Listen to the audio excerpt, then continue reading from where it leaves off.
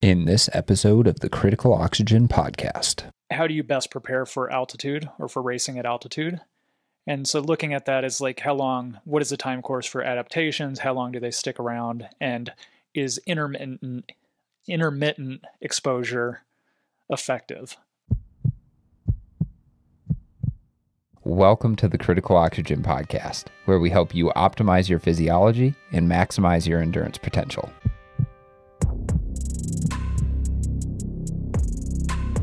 I'm your host, Phil Batterson.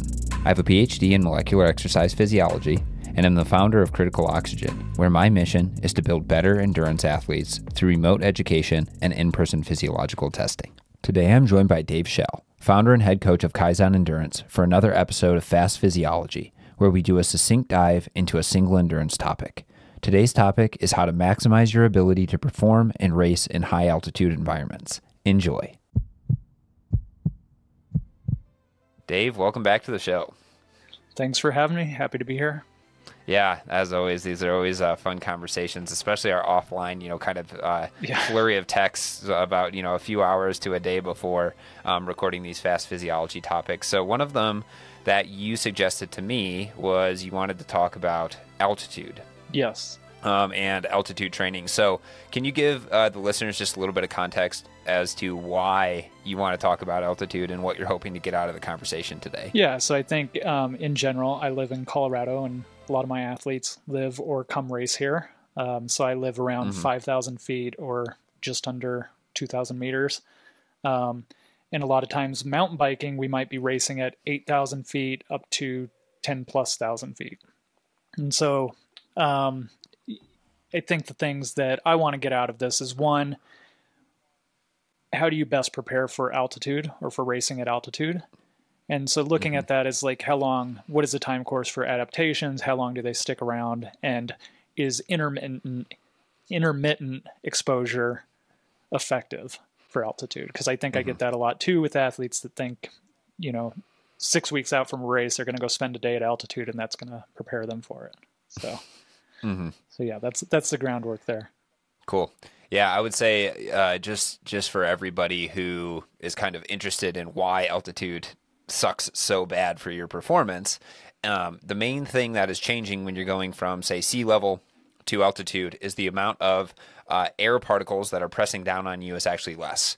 And with that decrease in air particles, you get decreased pressures of oxygen, and that results in oxygen not being able to be pushed into your your body and into your muscles as effectively. So, um, from that perspective, you lose uh, maximal oxygen consumption capability, So your VO2 max will go down.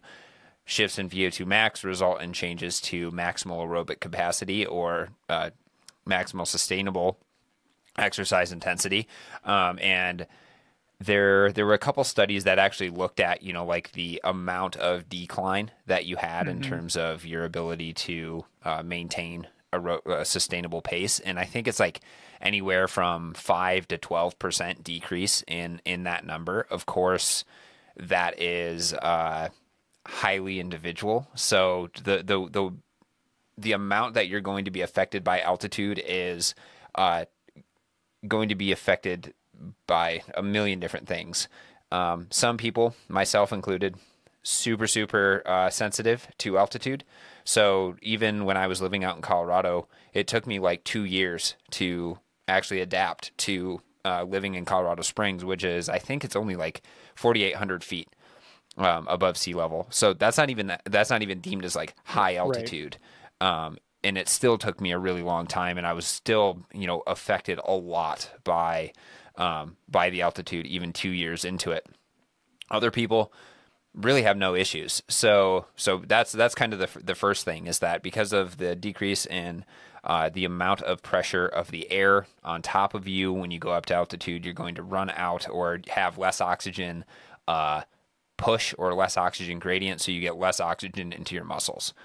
Less oxygen into your muscles means your mitochondria are going to be uh, kind of fighting to use that oxygen. And what we see is you you actually when when people are not acclimated to altitude, they actually have a higher tendency to burn carbohydrates right. when they first get exposed, just because uh, the exercise intensities that people typically engage in are um, high a higher relative percentage of their maximum. Um, so then they're going to be resulting in u- utilizing and using more carbohydrates. And um, I just want to add. So, ahead. so you had mentioned that the reduction in your max sustainable effort, power, whatever we want to call it, is around five to ten percent. And I've like a rule of thumb that I've used, even though like you said it's very individual, is essentially like mm-hmm. one mm-hmm. per thousand feet above sea level. So if you're going to five thousand feet, hmm. you might expect around a five percent reduction in FTP or critical power, and at ten thousand feet, ten percent. And like you said, like that's a bell mm-hmm. curve, and of course there's going to be people people on either side. But I think it's a good kind of rule of thumb to at least like if you're preparing to go somewhere, like trying to like determine what your goal pace would be or something like that using that as yeah. like to set realistic expectations yeah and I, I we should also add that it's it's over the entire spectrum of exercise intensities it's not just high intensity exercise it's it's from really low exercise intensities to really high uh, exercise intensities everything is going to cause your physiology to work harder. So what you'll even notice is that sometimes even at rest when you go up to high altitude, your resting heart rate is jacked up yeah. through the roof. Like it could be 90 or 100. And that's an indication that your body is not getting enough oxygen most likely also uh, you know creating more CO2 at the same time and your body is just struggling physiologically to keep up. So um, that's another thing to to note. Um, and I, I, like that idea of like I, I, think a good starting point is one percent per thousand feet above sea level. Um, but the true way to know it is obviously get to you know wherever you're racing early enough that you can do some test rides at the speed that you're hoping to race your race and then if it's way too hard, obviously back it off even more. Um, I think that's like the biggest thing, especially you, you know you you coach a lot of athletes who are going up to Leadville, right? Where like the lowest is like maybe 9,000 feet and the highest is 12,000 feet, and you're undulating between that. That is a a very large stress just due to the altitude. Right. Um, so so whenever I talk to people about this, I'm, I say, you know, err on the side of caution, right? You know, you you in an eight to eight to twelve hour race, I would probably say is is typically Leadville. Um, you stand to gain a lot more time if you go out conservatively and then can maintain that rather than being stubborn and being like, oh, well, Dave said it was, uh, you know, 1% per thousand feet.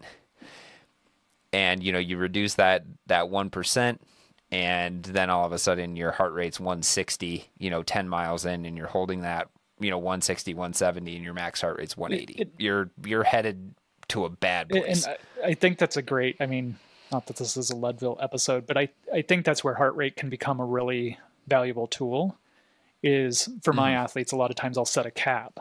And like you said it's like just at rest your heart rate's already higher. And so like using that as like a, a ceiling and telling them like really try to not go above this. And typically we say like mid to high zone three if we're using a five zone model. Um, mm-hmm. But it's just indicative. And as you get more fatigued in that race and dehydrated and are running out of fuel and your heart rate's getting higher and higher, it's like it really holds you back, you know? Mm-hmm. Yeah, absolutely. Those are those longer races just in general, there's a lot more room for error in terms of, you know, nutritional hydration, other things like that. And you definitely do not want to go out too hard. That's when you have a really, really bad day. Well, and you had mentioned that just in general, your body's having to. So essentially, your aerobic ceiling's been lowered as you're going up to mm-hmm. higher elevation. So your body's it's more energy cost for every intensity, and so at mm-hmm. that altitude, you go into if you go into the red, it's really hard to crawl back out of that hole, and because you're. Yeah. It, um, the idea of like exercise what is it? Excess post oxygen consumption. Exercise excess post oxygen mm-hmm. consumption. And so if you do a hard interval above critical power or whatever ftp to pay that back is going to take longer because there's less oxygen. And so if you go out too hard you're going to be paying for it dearly. Mm-hmm.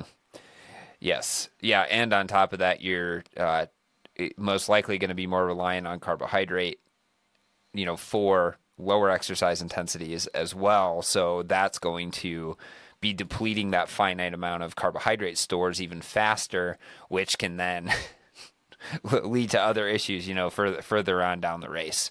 Um, so, okay, so that's how that's kind of how altitude would affect you.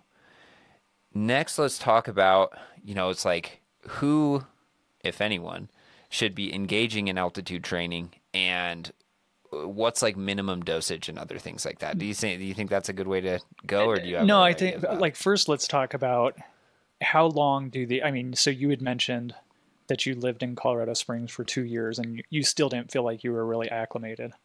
Um, mm-hmm. So let's let's talk about like what the literature says as far as what the adjustment period is. And in my mind, I always yeah. have like just in coaching in general, I have all these time frames or whatever these rolling averages and so the way I see it, like you go up to elevation, and the first day is maybe not too bad, but then in the second and third day, you really start to feel the effects, and then after four, five, six, then it starts to you start to like come back out. You're still not fully acclimatized, but you're going to be feeling mm-hmm. the effects less. So, yeah, I guess can you speak to that? Like, what does the literature show in terms of kind of the time frame? Yeah, no, I think I think you nailed it. You know, first day you generally don't feel too bad because your body hasn't had a chance to be like, oh shit, I'm dehydrated because I'm breathing too hard. You know, because another yeah. effect of altitude is you actually start to breathe faster, and by breathing faster, you dehydrate yourself more, um, and then you lower your plasma, uh, your plasma within right. your blood, so your blood uh, volume actually contracts. Um, so, but that takes about a day to present itself. So then day two and day three, and this is where people are like, do not race at altitude day two and day three after right. getting there because that is like when your body is like feeling the most stress of it you're probably depleted carbohydrate stores because again your body is in a stress mode so you're in stress mode so you're going to be burning more carbohydrates just doing uh, you know activities of everyday living so um, yeah, so it's it's one day. You know, you could you could probably get away with racing, not be acclimated or anything like that. Then get the hell out of there because the day afterwards is going to be really rough. Um, two to three days, absolutely not. That's kind of when your body is feeling it the worst and then you start to come and then you start to kind of you know have like an upward trajectory. And i don't know exactly the time frame of like that upward trajectory but like when people when elite level athletes do training camps um, they found that maximal hemoglobin uh, stimulation occurs between about 20 i think 23 to 28 oh, days. Um, so it takes about four weeks to get a maximal uh, you know acclimation stimulus you know to to that altitude. And that could be a very expensive four weeks especially if you're going up into these mountain towns renting an airbnb traveling out there doing other things like that. Um, and then when you come back down from altitude i think it's like you have maybe like 10 days of those benefits yeah. lasting. So so it's it's all in all it's it's very short um, short adaptations that revert themselves really quickly. And I think in general, um, because elite level populations tend to use altitude training to stimulate hemoglobin mass increases and other things like that, us non professional athletes think that we need to be doing altitude training. Um, but I was watching a YouTube video, a really, really well done YouTube video today, and I can't remember exactly um, who it was, but he was talking about. Uh, he was he was citing some research, and the conclusion for some of this research was that altitude training resulted in most likely less than a one percent gain in performance overall. Yeah. Um, and I think this is you know so So if if a less than one percent gain in performance is worth you know ten or twenty thousand dollars for you to go up and do a training camp and do other things like that, and then by all means, if you have that expendable income, that's awesome. But uh, it, it's it's a lot of money for very very marginal gains, whereas um, you know there's other training things that you could be doing that could potentially mitigate some of that. Now, I will say the single best way to get prepared for altitude is to go to altitude and train at altitude. Um, law of specificity, right, Dave? Yeah, I, I think yes to an effect. Um, I, I, would say from yeah. my so again, I, I'm coaching a lot of athletes that don't maybe they don't have all the money in the world, and so it is like we have to be practical about it too. And so I think in an ideal situation, if they could show up 10 to 14 days before the race, that's great. Mm-hmm. A lot mm-hmm. of people can't, and so then we're trying to maybe it's like either like I'll tell them a lot of times you either need to show up like four plus days out or show up within two days to kind of like mitigate yep. those things. But also, yep. if you spend too much time at altitude, you can, you're not working at the same work rate or power as you right. were at your lower altitude, and so you can start to lose those gains. And so, I, I mean, mm-hmm. I think the literature shows, or, or, the things maybe this is outdated at this point, but it's like the whole um, live high or sleep high, train low thing. You know, so it's like spend yep. a lot of time at elevation so that you get those adaptations that you're looking for, but then train at a lower elevation so you can hit those high power numbers. And so, right. So yeah, I think so. That's one piece of it. Um, and as I mentioned at the start of this, I think a lot of times athletes want to go, or maybe it's like weeks out, and they want to go like train at, ele- at elevation, but it, I think maybe there's a psychological impact there and it makes you feel good or like maybe mm-hmm. gives you an idea how you're going to handle it. But as far as like physiological adaptations, like you're not going to get it from one day and it's not going to last that long anyway. So it's like the time you spend in the car driving up and down the mountain and all these other things might have been time better spent on your bike or running or what have you. Mm-hmm. Yeah, I would I would say so I've I've heard and I don't know uh, like the physiological underpinnings of this, but I've heard like one or two days of exposure here and there to very high altitude for you know extended periods of time, like 24 hours mm-hmm. at a time, um, can actually help reduce or mitigate the effects of going back up to altitude. Um, you know, even if it's like one day, yeah. I, I think you know your your body probably has some sort of mechanisms, whether it's uh, epigenetic or you know other factors that allow it then to switch back and forth if you are being exposed to it. Uh, but again, I don't I don't know precisely what's going on there. Um, so I, I, think, for example, somebody who's living in uh, in Colorado, if you can get out and go expose yourself to really high altitude, like going up to Breckenridge or going up, you know, into like the the mountain towns and stuff like that, you don't have to do anything hard. Right. Like you could just go and do like a really really easy ride and just expose yourself, you know, maybe spend the night there and then, you know, come back the next day do a long weekend and, you know, perhaps from a psychological and maybe slightly from a physiological perspective, you'd be able to gain some small benefits. Um, and then the idea of like the live high, train low, then people are like, well, you know, do I need to go get an altitude tent and then sleep in my altitude tent all the time?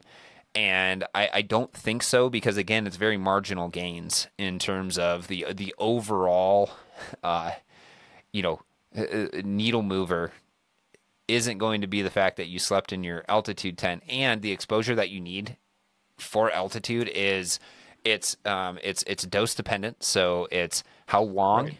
you're uh, at that altitude and then how high you actually are.